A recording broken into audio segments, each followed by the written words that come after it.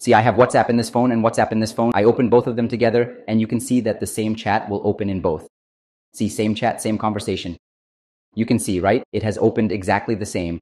Today, I will tell you all in this video how you can use WhatsApp of one of your phones in another phone with the same number without WhatsApp web. So how will you do this? For this, first of all, like this video. If you are new to the channel, then subscribe to the channel. And if you have not turned on the bell yet, then turn it on. You can do all this work in your iPhone and in your Android phone. For this, you will have to install WhatsApp Official from Google Play Store or App Store. So suppose this is my primary phone and this is a secondary phone. So I want to use WhatsApp of this phone in this phone. That too with the same number. So I will have to download WhatsApp in this phone of mine. So I have already downloaded it. So I have opened it here. Now here you have to select your language and click on next.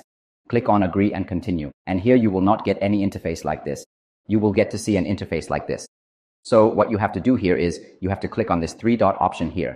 Here you will see an option, link a device. So you have to click on it. Now, here you will see a barcode in your WhatsApp. I will confirm it again.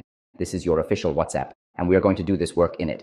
So see here, the barcode has come. Now what you have to do is you have to click on the setting icon in your iPhone. Now here you will see an option, link a devices. See, I warn you beforehand that you can do this work in your iPhone too.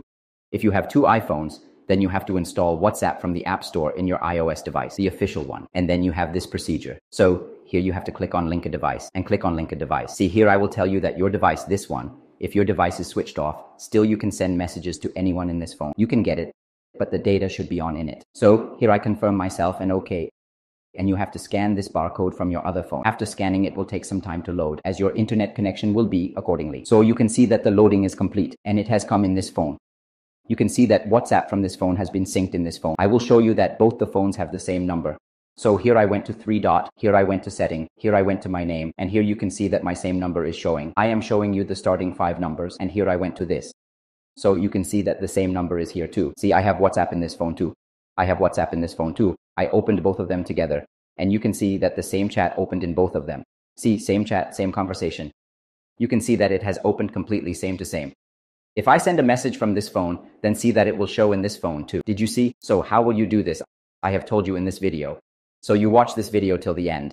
And if you don't understand this video, then watch it again and suppose that your work is done. Now you don't need WhatsApp from this phone. So how will you log out from this phone? There are two ways. One, you can do it from this phone too. Click on three dot, click on setting, click on account here. There is an option of log out here. If you want to do it from this phone, then, then go to the option of settings, click on link device, click on the device you see here. And there is an option of log out here too. So log out from here or from here, the work is the same. So I log out from this phone and click on log out. So you can see that it is logging out and your WhatsApp will close.